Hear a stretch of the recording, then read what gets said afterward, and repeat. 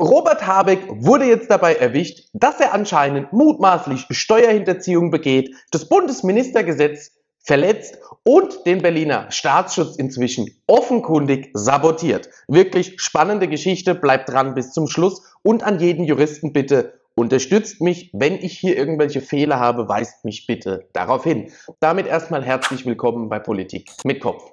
Worum geht es? Es geht darum, dass jetzt Robert Habeck auch eine Abmahnmaschine für Hass und Hetze im Internet quasi ins Leben gerufen hat.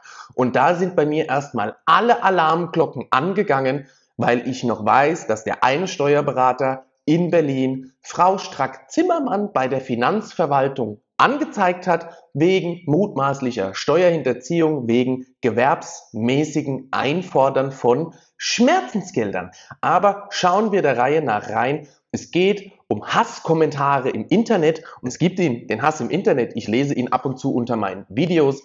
Aufrufe, die gegenüber befindliche Person solle nicht mehr weiterleben. Das ist wirklich weit über dem, was man als normale Meinungsäußerung ertragen muss. Wir sind dann bei Beleidigung, bei Bedrohung, je nachdem manchmal auch bei Nötigung.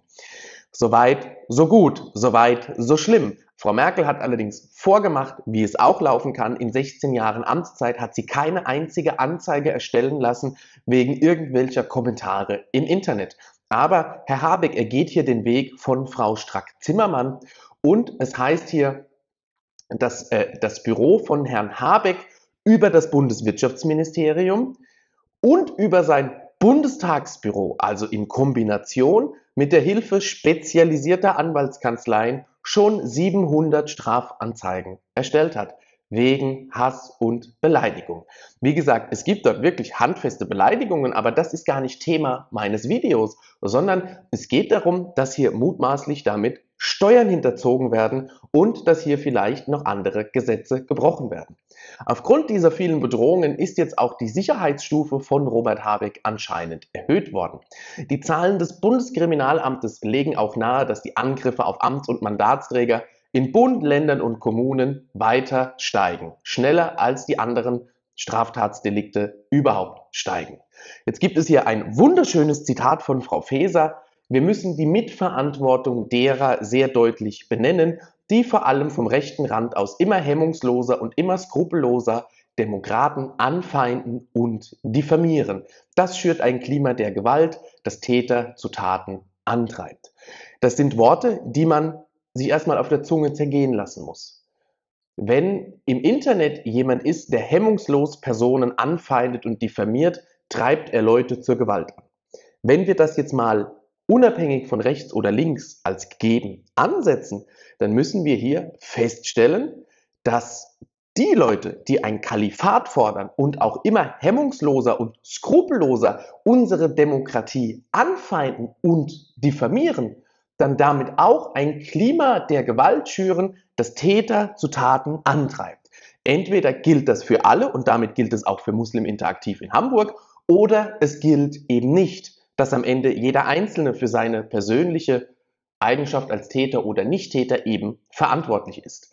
Es gibt jetzt hier auch noch Zahlen. Bisher sind jetzt unter den Gewaltdelikten weiter die AfD-Mitglieder am häufigsten betroffen.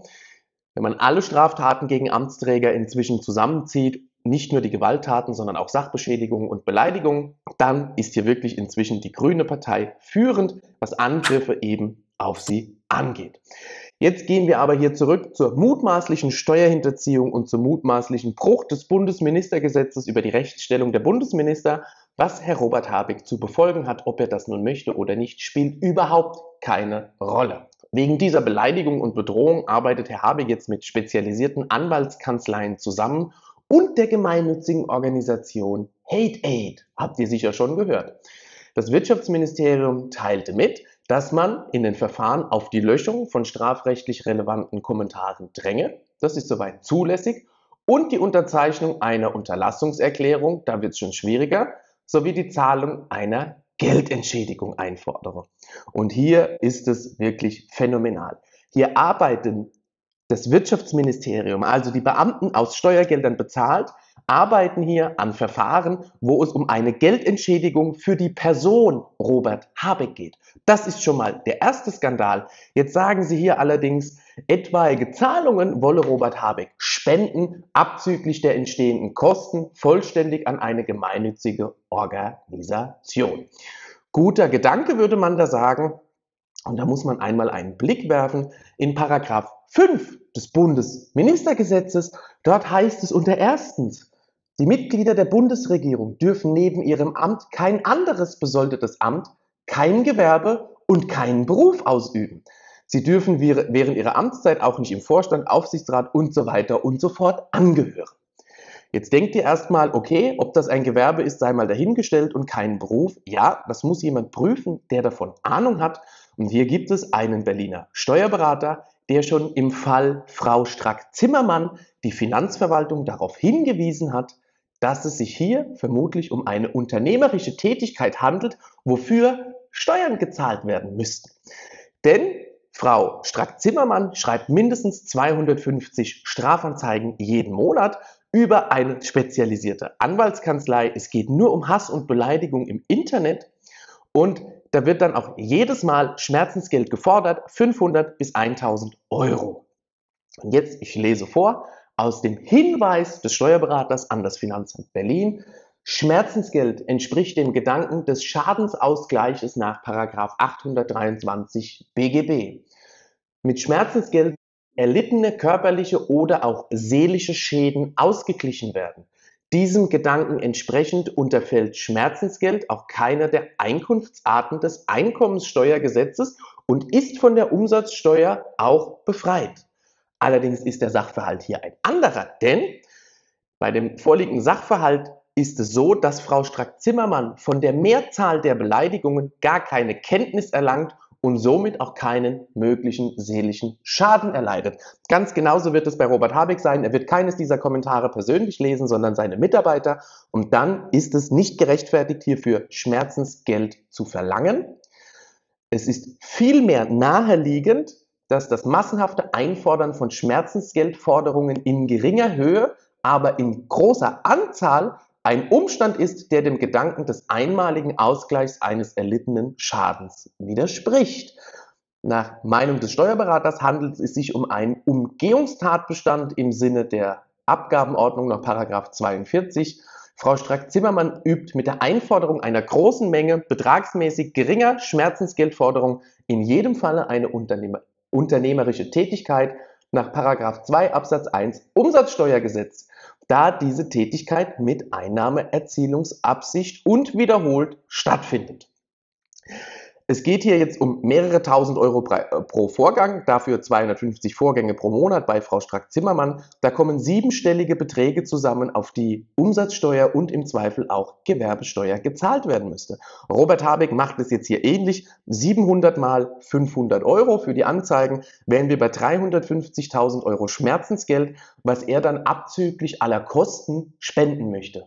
Naja, bin ich ja mal interessant ob wir hier jemanden finden, auch vielleicht wieder der gleiche Steuerberater, der hier eine Prüfung veranlasst, auch nach Paragraph 2 Gewerbesteuergesetz, ob denn hier auch Gewerbesteuer anfallen würde. Wir sind hier gleich im sechsstelligen Bereich, was dem Land Berlin hier dann quasi vorenthalten wurde, unabhängig davon, dass man sich dann damit auch strafbar macht. Und wenn sich ein Minister im Amt strafbar macht, ist er unhaltbar, dann muss er zurücktreten. Auch wenn das Spenden an Hate Aid vielleicht ein guter Zweck ist, der verfolgt werden soll, so ist die Art und Weise, wie hier vorgegangen wird, nicht das legitime Mittel zur Wahl. Weil das Ganze allerdings noch nicht schlimm genug ist, kommen wir jetzt nochmal darauf zurück, was eigentlich mit diesen vielen Anzeigen passiert. Von Herrn Habeck 700 Stück in den letzten zweieinhalb Monaten. Das ist ungefähr so viel wie das, was Frau Strack-Zimmermann auch so anrichtet. Und die Fälle landen zuerst beim Berliner Staatsschutz, denn die meisten Politiker haben irgendwie in Berlin ein Büro wegen dem Deutschen Bundestag oder den Bundesministerien. Das waren letztes Jahr knappe 900 Vorgänge, nur für den Berliner Staatsschutz, also drei pro Tag. Von der Berliner Polizei heißt es dazu, Zitat, dies bindet erhebliche Kapazitäten im polizeilichen Staatsschutz. Das kann man nur bestätigen, wenn man sich anschaut, was alles so schiefgelaufen ist in letzter Zeit. Der polizeiliche Staatsschutz wäre auch dafür da gewesen, diesen Anschlag bei Tesla zum Beispiel zu verhindern, den Anschlag auf das Brandenburger Tor auch zu verhindern. Aber sie sind hier gebunden durch die Anzeigen von Ministern und Abgeordneten und die fühlen sich dabei noch gut, wenn sie hier gegen Hass und Hetze im Internet vorgehen wollen. Ich sage auch, Hass und Hetze im Internet muss nicht sein. Die Politik soll sich einfach darauf besinnen, warum manche Leute so reagieren, wie sie reagieren. Inzwischen, die Politik ist fernab jeglicher Realität. Sie leben in einem Wolkenkuckucksheim, in, also in einem völligen Wahnsinn, in einer Wahnvorstellung leben sie. Ich habe lang genug in der Berliner Blase gearbeitet. Die Leute kennen überhaupt keine Zustände, wie du und ich sie jeden Tag auf der Straße erleben. Ich erlebe es aber auch hier. Da ist eine Messerstecherei in der gleichen Straße und wenn man die Leute danach fragt, hat keiner mitgekriegt, hat keiner gelesen. Sie gehen ja jeden Tag arbeiten. Die Einschläge, sie finden inzwischen statt vor den Haustüren und die Leute, sie kriegen es einfach nicht mit. Ich bin gespannt auf deine Meinung. Bist du Steuerberater? Bist du Rechtsanwalt? Kennst du jemanden, der hier bitte mir helfen kann, dass wir das prüfen? Sehr gerne würde ich auch der Berliner Finanzverwaltung hier den Hinweis geben, dass eventuell einer der Bundesminister hier Dinge tut, die absolut nicht in Ordnung sind. Nochmal, auch, dass sie hier Mitarbeiter des Ministeriums hernehmen, um Beleidigungen gegen die Person Robert Habeck zu ahnden, wo er dann die anspruchsberechtigte Person ist für dieses Schmerzensgeld. Es geht absolut gar nicht. Das geht gar nicht, ja. Das könnte er noch irgendwie vielleicht verargumentieren, wenn er das über sein Bundestagsbüro irgendwie dreht. Da gibt es mehr Möglichkeiten, aber Beamte, Bundesminister, nee, das geht gar nicht. Abonniere den Kanal, abonniere X und Telegram, schicke es jedem Steuerberater, jedem Rechtsanwalt, den du kennst, schicke es natürlich auch an jeden anderen, aber ich glaube, Robert Habeck hat hier einen Folgen reichen Fehler begangen, der ihn noch länger verfolgen wird, als ihm das überhaupt lieb ist, hätte er das mit dem Anzeigen besser mal bleiben lassen. Damit sage ich ciao, bis bald.